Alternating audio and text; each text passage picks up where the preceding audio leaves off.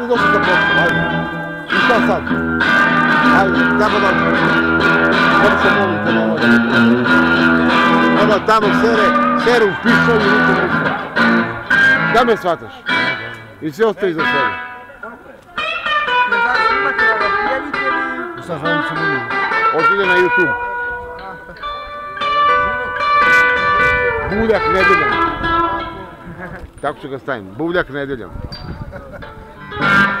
U šest sati. Tako je, treba. Tako je naša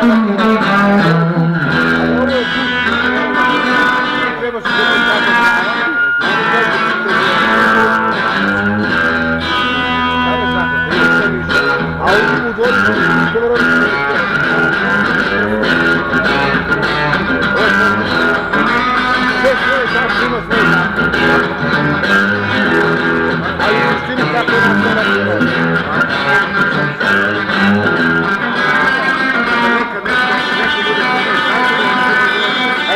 Ja ću ti pokazati evo zbog ovoga. U šest ujutru. U šest ujutru nedeljom.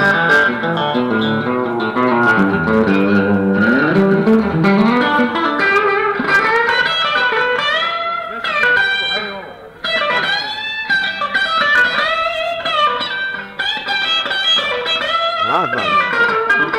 Šta kažeš, Maja?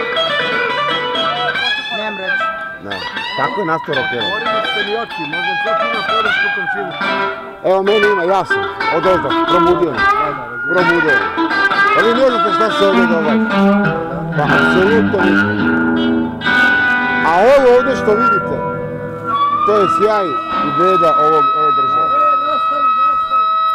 Dečko je stvari vrlo inteligentno krenuo da rešava ovaj problem. Tako je.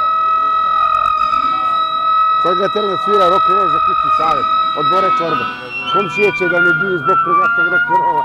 To bi bili familiju. Pazite ovo, u Sevilji su htjeli da mali.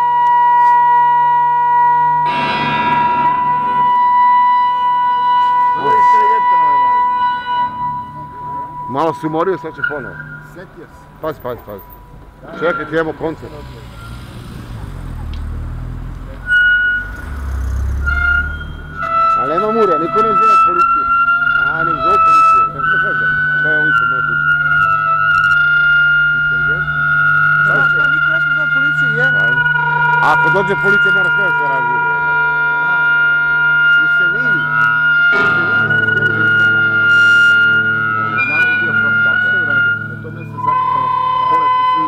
Bolesne.